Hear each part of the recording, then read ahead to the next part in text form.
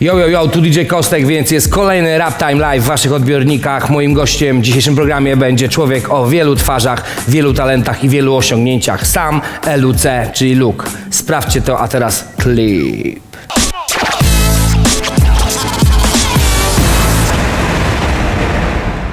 To był kawałek pod tytułem Co z tą Polską w wykonaniu Luka LUC, mojego dzisiejszego gościa. Witam serdecznie. Cześć. Jak się masz? Dobrze, dobrze, polewka, że w sumie się, we Wrocławiu, więc... że się poznajemy dopiero... No wiesz. słuchaj, no, lepiej późno niż wcale, tak? tak jest, są jeszcze takie znajomości Słuchaj, jesteś, niezapoznane. jesteś artystą o bardzo szerokim spektrumie swoich jakby działań. E, Ale jakby no powiedzmy, że w- twoja twórczość bardzo mocno związana jest z rapem bezpośrednio. Czy czujesz się raperem? Jesteś raperem? Wiesz co, no właśnie z tymi... Nie, nigdy nie wiedziałem, jak się odnosić do, do, do tych nazw. No wiesz, Dobrze, ale używasz rapu jako swo, swoją formę wypowiedzi. Tak, znaczy, wiesz co, nie wiem, czy to właściwie tak można nazwać. No tak, no raczej na pewno, no jest to rap. No ja to nazywam po prostu, wiesz, słowem rymowanym, tekstem, nie? Ale starałem się nigdy nie nazywać siebie, no to ludzie mnie nazywali. Ja starałem się po prostu to robić, co kocham, czyli pisać teksty i nawijać do bitów, które są na pewno hip-hopowe. Ale nigdy nie byłem, wiesz, jakby tak jakoś się nie, nie, nie tożsamiałem tak bardzo z byciem raperem, a czy to na pewno samoistnie się stało. Może jesteś raperem, nie do końca jakimś hip-hopowcem może. Nie, po prostu wiesz co, byłem w tak wielu różnych środowiskach w życiu, że mm, jakby rap mi się zawsze strasznie kojarzył z Ameryką, po prostu, wiesz, a zawsze miałem poczucie, że to, co robimy my tutaj, to, co przynajmniej ja robię, chciałem, żeby było bardzo przefiltrowane przeze mnie i jakby przez, przez Polskę. I tak trochę mi nie pasowało to, to słowo nigdy ra, rap do Polski, po prostu, rozumiesz, jakby miałem takie poczucie, że my mamy jakąś taką tradycję bardziej... Rymiarzem może. Tak, rymiarzem, ry, rymiarzem, złomiarze i rymiarze. E, no tak, jakoś tak wiesz, z jakąś taką poetyką bardziej mi się to wszystko kojarzyło, nie? Ale tak, no wiadomo, że to tak jak, wiesz, jest rok, też kiedyś nie był, mm, e, nie była to muzyka z Polski, a dzisiaj jest mnóstwo polskiego roka, no to pewnie tak. To może to są jakieś moje wewnętrzne, wiesz, dziwne, mm, na, na, lingwistyczne zagwozdki, ale tak, no myślę, że, że rap, że to jest, to jest rap. Śledząc twoją jakby e, historię, no natknąłem się na sporą ilość albumów. Już teraz dokładnie nie pamiętam, ale teraz pytanie do ciebie. Czy ty, ty pamiętasz ile albumów nagrałeś? Nie, nie pamiętam. Nie pamiętasz. Ale to, naście koło, czy koło, koło, koło dychy, nie, gdzieś, jest tak, to wszystko styluje koło dychy, tylko że to może być informacja jeszcze sprzed, wiesz, coś zapamiętuję sobie, wkładam sobie to w, gdzieś tam w jakieś półki w głowie, a nagle mijają dwa lata i się okazuje, że to już jest nieaktualna informacja, więc ja nie wiem, czy to nie jest sprzed dwóch lat, chyba już z 12 w tej chwili. Czyli 12, czyli naście, mamy naście, naście. czyli już jest naście, tak. To pisanie to jest za mało, nie? Rap, właśnie poetyka to jest za mało i... i innych że, że wyrazu. tak, że chcę, chcę czegoś więcej, że ja, ja czuję po prostu bardzo, że dla mnie największą satysfakcją jest połączenie dobrego słowa z dobrym obrazem i z dobrym dźwiękiem. A robisz to sam? Czy jakby, jakby no, współpracujesz? No bo to sporo pracy, prawda? Tak, no wiesz, jakby... Jesteś wszystkiego reżyserem, czy jakby głównym jakby pomysłodawcą To- i masz grupę ludzi, która z tobą To, współpracuje? jest, to są lata budowania, budowania teamu rzeczywiście. No to na pewno. Lata budowania teamu ludzi, wiesz, Czyli którzy... team. Tak. Team to- jest kluczowy. Absolutnie, wiesz, ludzie, którzy... teamie? Wiesz, w teamie są chłopaki, z którymi zaraz tutaj na przykład zagramy. Team to są graficy, team to są filmowcy, to jest... Mm, po części Endorfina, po części z grupą 13, żeśmy trochę rzeczy robili. Team, team to są muzycy, to jest, to jest bardzo wiele już muzyków w tym momencie. To jest, to jest e, myślę, że z 15 osób, takiej prawie orkiestry. Mm, I, i, to, i to, to, jest, to jest ten zespół, nie, który to wszystko współtworzył. Mm, Ja, ja tylko często dawałem pomysły, mm, gdzieś tam kierowałem i Czy miałeś czasami... komfort pracy przy tych rzeczach? Wiesz co, nie do końca mogę tak powiedzieć. Rzeczywiście, później już tak. y, Znaczy na- komfortem nazywam, że ludzie są. tak, że ludzie są, ale właśnie też nie można, do, nie, nie chciałbym, żeby to tak zabrzmiało, bo, bo, bo rozmawiałem po coś, Ale ludziom- komfort sobie samemu wypracowałeś. Tak, O, no komfort praca, właśnie, bo chciałem przekazać to, wiesz, rozmawiałem po to, żeby ludziom też dać jakąś inspirację, żeby ludzi zachęcić do robienia pewnych rzeczy, więc to, co jest ważne, to to, że początki są traumatyczne, nie? Ja pamiętam moment, kiedy robiliśmy jakieś rzeczy i ktoś dostał gdzieś tam stówę więcej z jakiegoś joba w Warszawie i nas zostawił dzień przed w ogóle gości od świateł, a myśmy, wiesz, nie mieli teatru i robiliśmy jakiś tam, próbowaliśmy jakiś spektakl para zrobić hip-hopowy i nagle gościa nie ma i leżymy, bo można zastąpić czasami wziąć muzyka zastępstwo, zagra z nut, a gość od światu tego nie zrobi, więc było bardzo wiele tych sytuacji, kiedy ludzie, wiesz, zostawiali nas, kiedyśmy po prostu walili głową w mur. Natomiast tak, czas pokazywał to, kto jest lojalny, kto, kto, na kim można liczyć i dzisiaj ten team to są naprawdę zajebiści ludzie. Nie? No, Jesteś takim no, obok. tego teamu, no bo jakby no, wszystko jakby pod twoim szyldem się Trochę odbywa, tak, czasami to jest głupie, bo niektórzy, liczą. trochę czasami tak jest, chociaż z drugiej strony czasami jest to głupie, bo wiesz, niektórzy z tych ludzi są na przykład, wiesz, po, po szkołach muzycznych znają nuty, są w ogóle, wiesz, dużo bardziej rozwinięci muzycznie, a ja czasami muszę temu nadać kierunek, ale fajna atmosfera jest, myślę, że jest taka ziomalska atmosfera, wiesz, że po prostu czasami się nie widzimy pół roku, bo nagle projekt się zmienia, zmienia się, pracujemy teraz bardziej z tymi muzykami, a dzisiaj tak na przykład tutaj zaraz zagramy z, z Maćkiem Mazurkiem, gitarzystą i ze Zgasem, z którymi już przejeździli całą Polskę w trasie, a teraz na przykład od roku nie pracujemy razem, ale mamy ten flow, że się dzisiaj pewnie spotkamy i tak o, będziemy grać. No to ciekawa historia. Wracamy zaraz do rozmowy, bo teraz przed wami pospolite ruszenie Luke w drugim teledysku Rap Time Live cały czas. Come on.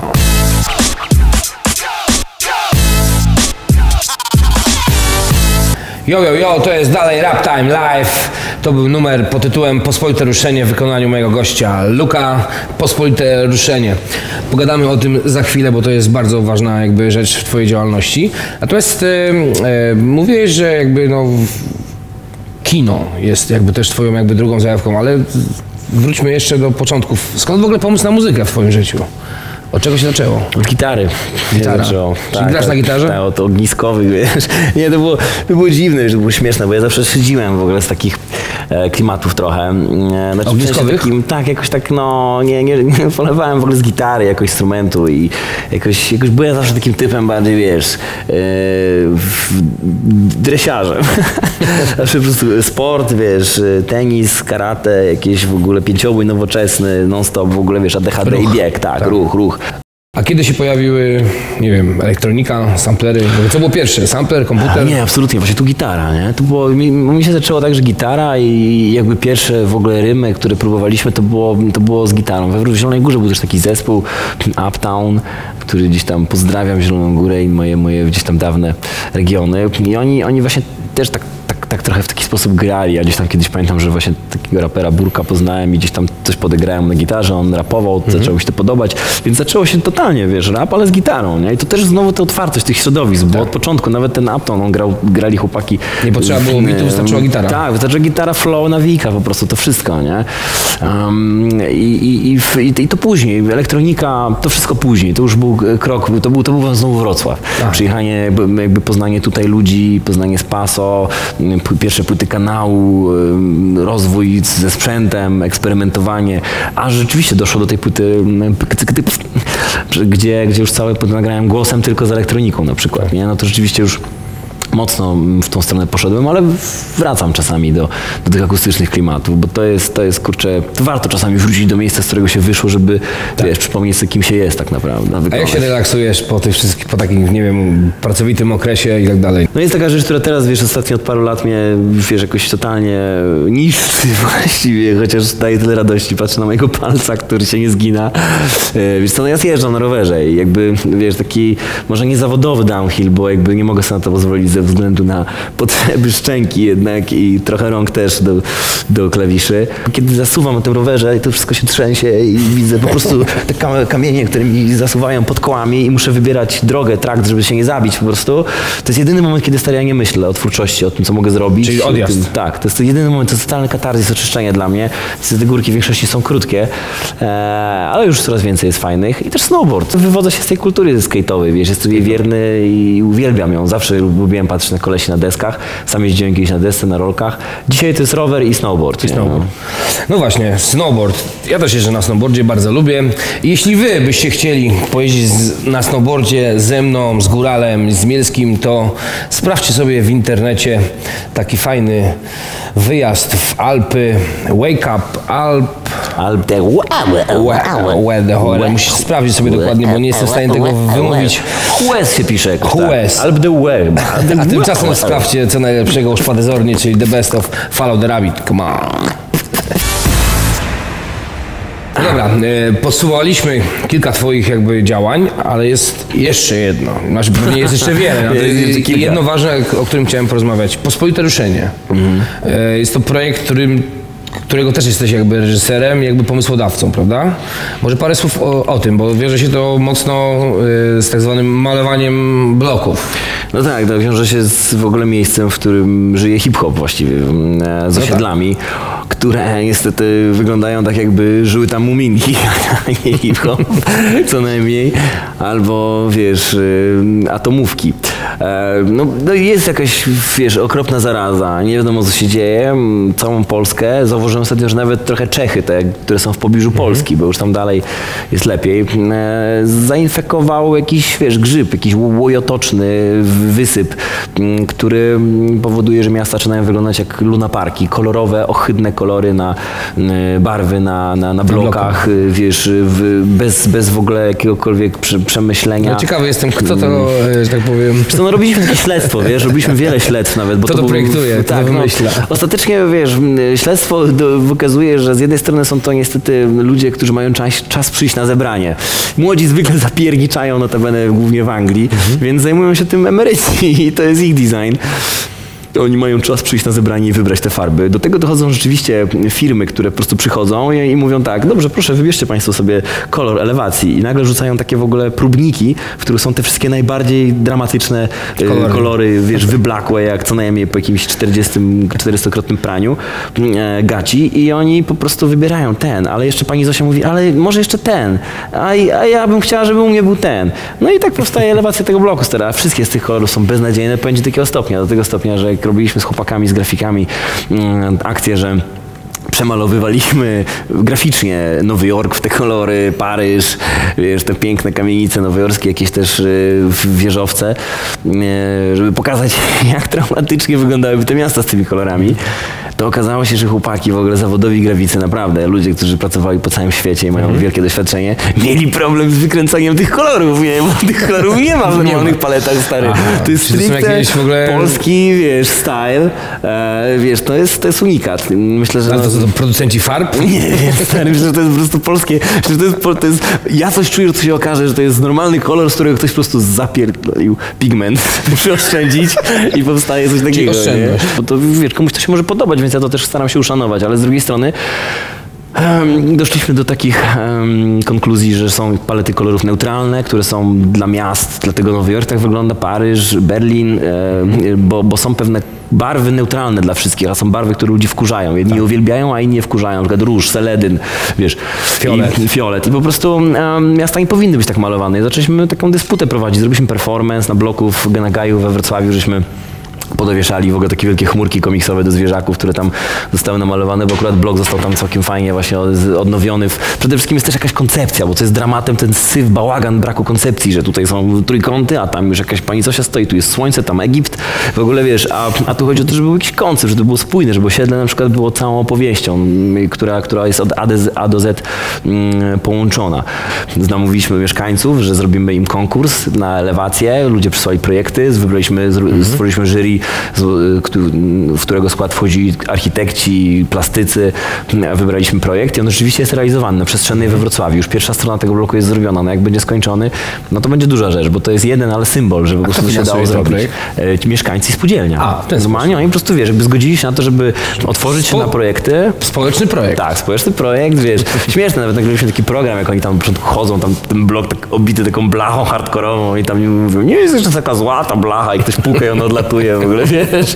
Także y, to, było, to było zabawne, ale fajnie, że ci mieszkańcy gdzieś tam otworzyli na to.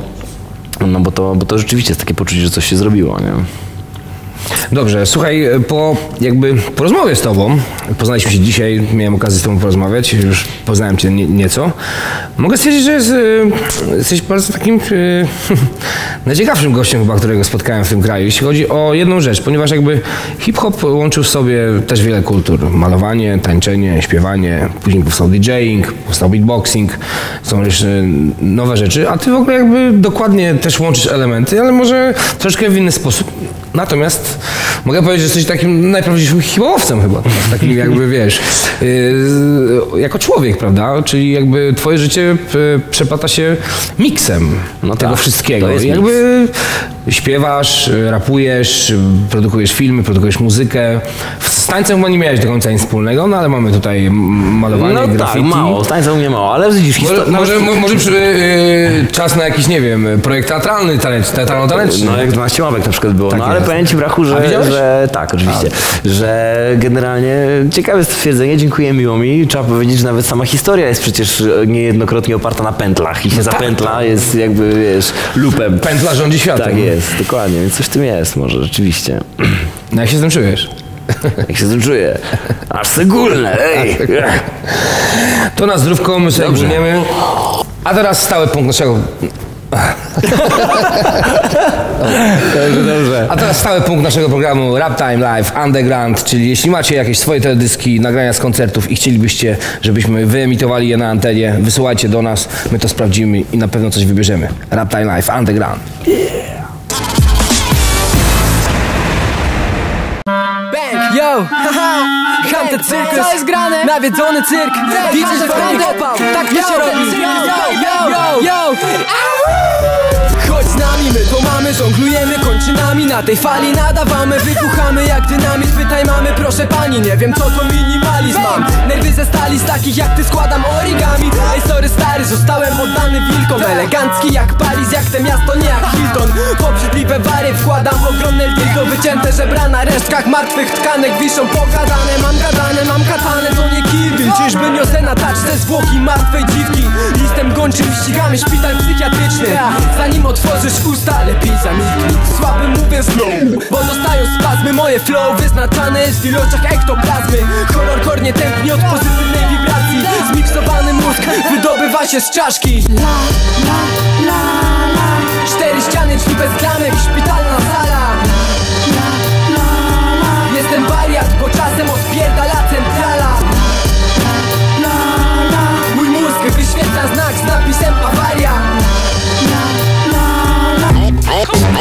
Oh, yes.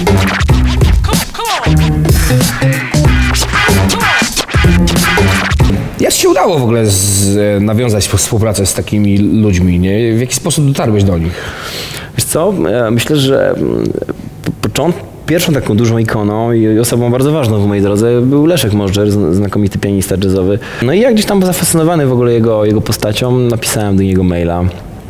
E, I on po prostu odpowiedział, więc ja myślę, że, że tutaj jest też pewien łód szczęścia w tym, nie? Taki, że po prostu, wiesz, piszesz do kogoś maila i... I odwaga. i- Czyli i- piszesz, i- tak, maila, nie, że dzwoniłeś gdzieś tam, Nie, wiesz- Józek, daj mi numer do, do Leszka albo do, do, do Franka, bo on ma numer. Mail, tak. Mail przez, przez to, że też gdzieś, wiesz, nagle wszedłem w trochę środowisko pi- piosenki aktorskiej w ogóle we Wrocławiu. Poznałem bardzo człowieka, który mi bardzo w życiu pomógł, Michała Juzonia, menadżera ówczesnego Lesz- Leszka Możdżera i gdzieś tam obiecał mi, że przekaże płytę. Miałem jakąś pierwszą sklejoną jeszcze w ogóle notabene na, na, na kolanie zrobioną podziemną i on mu przekazał. I on gdzieś tam po prostu nam nagrał swoją partię. Notabene okazało się, że nie do tego utworu, co, co żeśmy się umawiali. Bo ja Ale wyszło dobrze. ale przekleiliśmy, posamplowaliśmy i wyszło dobrze. On się z tego śmieje do dzisiaj, że, że grał do czegoś innego, a myśmy użyli to jako coś innego. Ale to jest też te, to, jest to mieszanie kultur, bo dla niego to było na przykład niewyobrażalne, że jak to, zagrałem ci tego bitu, to jak to mogliście do innego wykorzystać? A ja mówię mu, stary, sampling, Sampling. Po prostu zagrałeś genialne rzeczy, a myśmy to po prostu przekleili i ten, nie? Mówię, Aha, No, okej. Numer był w podobnej tonacji, więc pasowało. Tak, dokładnie.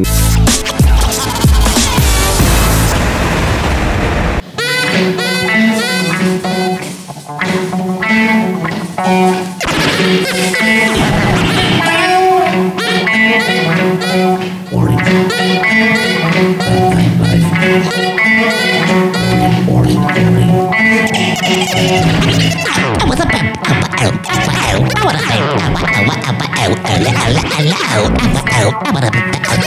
Luce oraz DJ Kostek oraz Gaz i Maciek Mazurek po raz pierwszy, pierwszy raz w Rap Time Live, ej Opowiemy wam historię o tym jak nadchodzi już tu zaraz przyjdzie ta wielka szmata, blada szmata na niebie, już ją widzę, nadchodzi. Tak to nasza jesień jak co roku przychodzi nam spuścić w pierdziel. A to dlatego, że żyjemy w Polsce, w tym pięknym kraju, który generalnie Oh, my God. Polskę. Na spontanie Jak plaster na ranie. Założyli polanie Jak na polanie Polewanie wódki, malowanie kłótni Walenie w banie, ale walenie nie jedli Za to mieli brudki. Jedni pili mnie, nie piekli Inni wielki w szanie Tłukli, pili biegami lasami Zalani budki. Lubili lanie, lubili karanie skutki. Rana na ranie Sami sobie przed oczami Mieczami machali jak w konanie. Mili okrutki, lubili tanie rozwiązanie. A zatem szli tak jak szlak szedł Przybyli tu latem. Wstrzymali orszak wnet i wypili ratę Przy tym co gorsza mgła rano zobaczyli zatem. Pyszny powód tak, żeby wlać otuchę w klatę. W tę mgłę jeszcze bladsze Tak przepili wypłatę. I tak listopad nadszedł A zima tu katem. Zatem, zatem Pola nie polali znów Pominie dogrzanie. Śniegi zaskoczyły jak mina w Afganistanie. Jak biegi w terpanie Jak coroczne rzek wylanie. Tak było tu wieki temu Tak jest i tak już zostanie. Pierwsze, drugie, setne Pokolenie wciąż na polanie Pierwsze, drugie, setne Pokolenie wciąż na polanie Pierwsze, drugie, setne Pokolenie wciąż na polanie Pierwsze, drugie, setne Pokolenie wciąż na polanie Pierwsze, drugie, setne Pokolenie wciąż na polanie DJ Kostek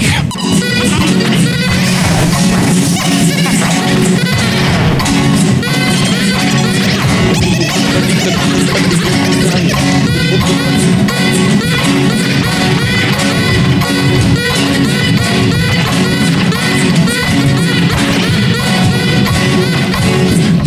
Wybudowali chatę z odpadów, zbili sanie. Zrobili kuliki, byli mili, ale nie byli w stanie. Tak przegapili narodów terytorialne polowanie. Mogliśmy mieć jedno przewiewne ubranie. Plaże lazurowe, kryształ palmy i Toskanie Ale gaje zajęli już Grecy i Rzymianie Więc leżymy tak w korytarzu Europy na podeptanym dywanie. Na podeptanym dywanie, podeptanym dywanie, podeptanym dywanie Na podeptanym dywanie, podeptanym dywanie, deptanym dywanie, podeptanym dywanie, podeptanym, podeptanym, podeptanym, podeptanym,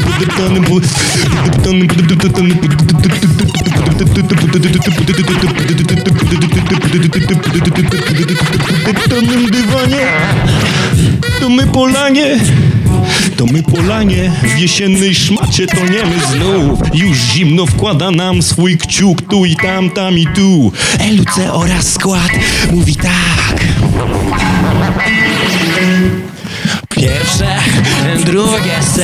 pokolenie wciąż na polanie Pierwsze, drugie, setne. Pokolenie wciąż na polanie Pierwsze, drugie, setne. Pokolenie wciąż na polanie Pierwsze, drugie, setne. Pokolenie wciąż na polanie Rap time one shot, rap time live. Pozdrawiam. LC API I wanna be, I wanna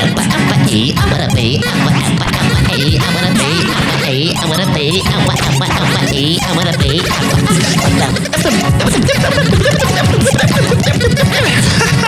DJ Kostek, Zgas, Maciek Mazurek Pozdrawiam wszystkich raperów i wienia z tego kawałka Yo! Peace! What's it